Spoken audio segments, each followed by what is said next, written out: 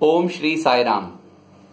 We are often told that the best way to do things is to do it in a manner that makes God happy. In Swami's college, in Swami's organization, we are told do everything in a manner that makes Swami happy. Make Swami happy, bring a smile on Swami's face. This is what we are told, and this is what we aspire to do as well. But that begs a question How do I know whether Swami is happy or not, whether Swami is pleased or not? Before, when Swami was in the physical frame, I look out for physical manifestations of his joy. When he smiles, when he applauds, when he claps, or when he says, Bangaru, I am very happy. Now, how do I know whether Swami is pleased or not?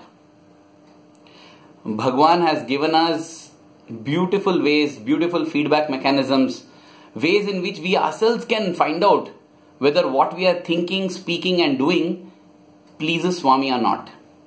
And in order to highlight that message, I would like to relive one little episode that took place in the 1990s. The students from the MBA school at Prashanthi Nilayam would often have their industrial tour at the end of the academic year. Now, this industrial tour would give them the opportunity to go to different factories, different industries, and get hands on practical experience of working in all these places. But more important than that, especially for Swami students, was the fact that this industrial tour would be in Bangalore and they would all be accommodated at Whitefield, which is Swami's ashram at Brindavan, and they would get daily beautiful interactions with Swami. Now, that was possibly the greater attraction than getting hands on practical experience in these industries and factories. But this particular year, something different had happened, which was Swami was not interacting with these students at all. In fact, all the MBA students often yearned for a Trayee session. Trayee Brindavan is Bhagwan's residence in Whitefield, and Swami would often call these students inside his residence and interact with them, and that would be called a Trayee session. And all the MBA students looked forward for this Trayee session, but Swami was not giving Trayee sessions. See, everything Swami does has a beautiful reason, and I think what he did that day has so much meaning for us because it actually gives us a way to gauge whether what we are thinking, speaking, and doing is making Swami happy or not without getting physical feedback from Swami's smiles or blessings. I mean, in the times of the physical absence, this is so important and relevant. So daily Swami would come out and the students would ask Swami, please Swami, Swami call us into Trayee, Swami, please Swami, please Swami, please Swami. And as they keep telling that, Swami would look at them, smile and say, please Swami, please Swami. And you know, walk away. Meaning, if you want me to call you for a Trayee session, if you want me to interact with you, then you please me. And they too had the same questions that we have in our mind. How do we know we are pleasing Swami? What we should do to please Swami? So they went on pleading. At that time, they had the chance. Swami was giving them the opportunity. So they kept pleading, Swami, please call us in. Please, Swami, please, Swami. Then one day, Swami said, See, after all, you have come here for your industrial tour. So once it's over, you go back to Prashanthi Nilayam. That's all, right? No, Swami. You know, they all felt, No, Swami, we have not come here for industrial tour. That's just an excuse. We have come here to learn things from you. The industrial tour will give us lessons for living. From you, we get lessons for life. Swami, we have come for you. So when Swami would say, you go back anyway, your industrial tour will get over. They will say, no Swami, no Swami, no Swami. Swami would again smile with a twinkle in the eye say, no Swami, K-N-O-W, no Swami, and walk away. Now in this manner, you know, Swami will play on words and keep doing what he wishes and the students are getting desperate. One day, another interesting interaction happened during this industrial tour visit when Swami is denying Trayee sessions to the MBA boys. Swami came out and asked the teacher in charge, who was Bhagia sir. He currently also serves in the Sri Sathya Sai Institute of Higher Learning in an honorary capacity. So Swami asked him, Where were you today morning? Bhagia sir said, Swami, I went to the bank to withdraw money for the boys. Those days there was no internet banking, mobile banking. You could not just, you know, get money so easily. You had to write deposits, uh, withdrawal slips or checks. And the teachers would go and withdraw money and come to the, for the students. Swami then asked Bhagia sir, Aha, so when does the bank allow you to withdraw money? Bhagia? Swami asked him. And knowing that some wisdom was definitely going to flow through, Bhagia sir kept silent. Swami went on. Swami said, See, if you want to get money from the bank, you should have an account with the bank. Either a savings bank account or a current account. You need to have an account. Or, even if you don't have an account, you need to have deposits with the bank, fixed deposits. Or, if you don't have an account or fixed deposits, if a person of good standing who has good deposits with the bank, he stands guarantor on your behalf, then also the bank will give you money. And then Swami said, I am a spiritual bank. God is also a spiritual bank, and God gives you grace if you have an account. An account where you collect all the good acts, merits, where you deposit your good acts and merits, then you can withdraw grace. But if you don't have an account, you need to have at least fixed deposits. What are these fixed deposits? Fixed deposits are good deeds, good thoughts, and good words from previous births, our good karma. Swami said, if you have that, then based on those good karmas, also you can withdraw grace from the divine bank. If you have neither of these, you have neither good karmas in the past, nor are you doing any good karmas in the present, then if some saint, some sage, some saintly person, noble person who has got good deposits in the spiritual bank, he or she stands guarantor on your behalf and says and pleads and prays on your behalf, then also you can get grace. And Swami said, in this case, nothing is there. You neither have good karmas, or you neither doing good work now. And Swami pointing to the teachers said, none of the teachers are also pleading on your behalf. So how can I give? That time Bhagia sir said, Swami, there's another way in which the bank gives money. And Swami suddenly became curious. Huh, is it? Tell me, Bhagia, what is it? Because, you know, I too am like a spiritual bank. I would like to incorporate that practice also into my banking system. And Bhagia sir said, Swami, there's a facility called overdraft facility where you're allowed to withdraw more than what you have deposited with the faith that you will definitely return it in the future.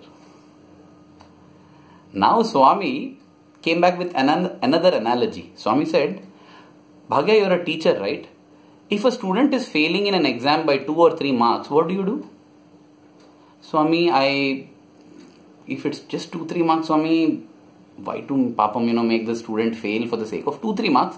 So we give grace marks, two, three grace marks and make them pass. Swami said, what if the student got only two or three marks? Will you give 33 grace marks? Swami, no Swami. Grace marks is just two or three marks. Just, just if you're just failing by a bit. Swami said, why is it called grace marks? Because grace is also like that.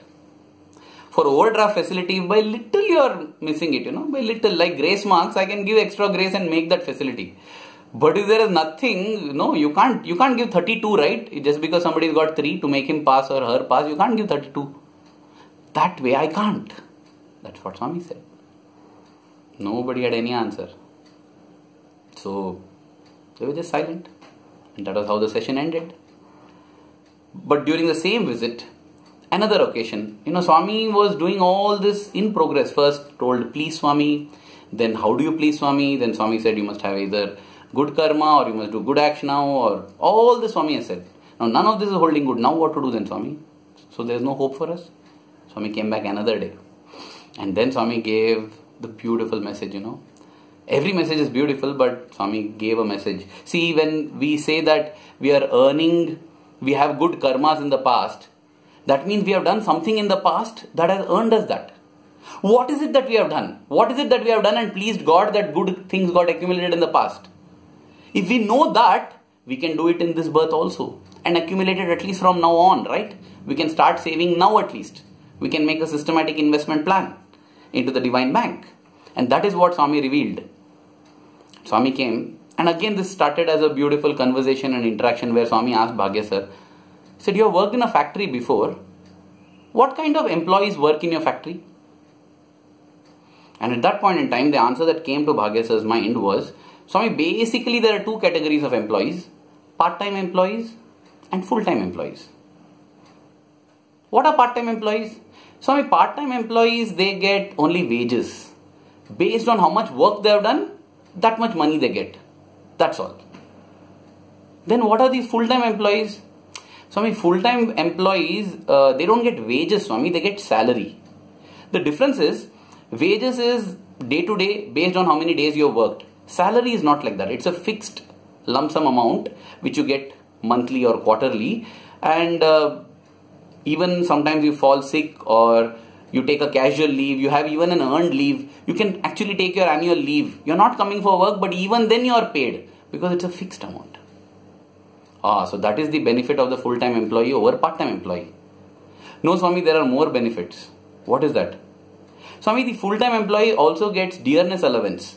Dearness allowance is uh, uh, an inflate, inflation adjusted compensatory amount because you know your your salary might not rise but if the inflation in the country is going up based on the inflation an extra amount is given to you as dearness allowance that part-time workers don't get only full-time employees get aha okay swami was nodding and then bhagia sir said swami apart from that they also get pension privileges which is after they retire they get a monthly sum into their bank accounts even though they're not working in appreciation of being full-time employees. Swami now smiled and Swami said, I too have part-time devotees and full-time devotees. Part-time devotees like part-time workers get their wages. How much ever good they do, that much they get in return. But God is always happy with full-time devotees. And that is why full-time devotees get salaried grace. An assured amount of grace every now and then even though you take leave, you may not do your sadhana sometimes, you get it. And look at Swami's beautiful play on words. the Swami says, apart from that, full time devotees also get dearness allowance. I give them an opportunity to become dear to me. Wow, what play on words. And then Swami said, apart from that, they will also get pension, which is grace in their future births as well for having been full-time employees in this birth. And that is what it is. If we are full-time employees, I mean full-time devotees, in our previous birth, we would have accumulated karma as fixed deposits which we can withdraw in this birth. So in this birth, if we are full-time devotees, then we earn, we can get. And then Swami said, full-time devotion is the only true devotion. Mark his words. Only true devotion all other devotion is only part time, and then Swami pointed to all the students and said, All part time devotees. How can I give?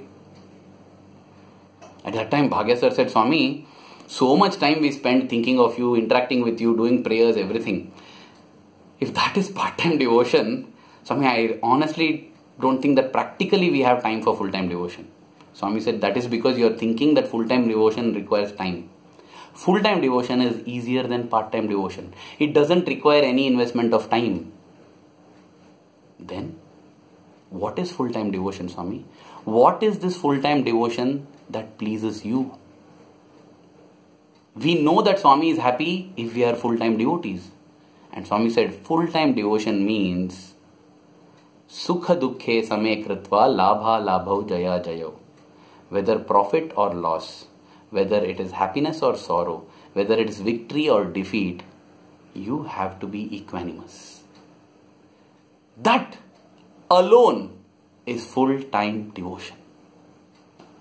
That is what full time devotion is. And now, this is the way we know whether we are pleased Swami or not. Irrespective of what we speak, what we think, what we do, are we equanimous?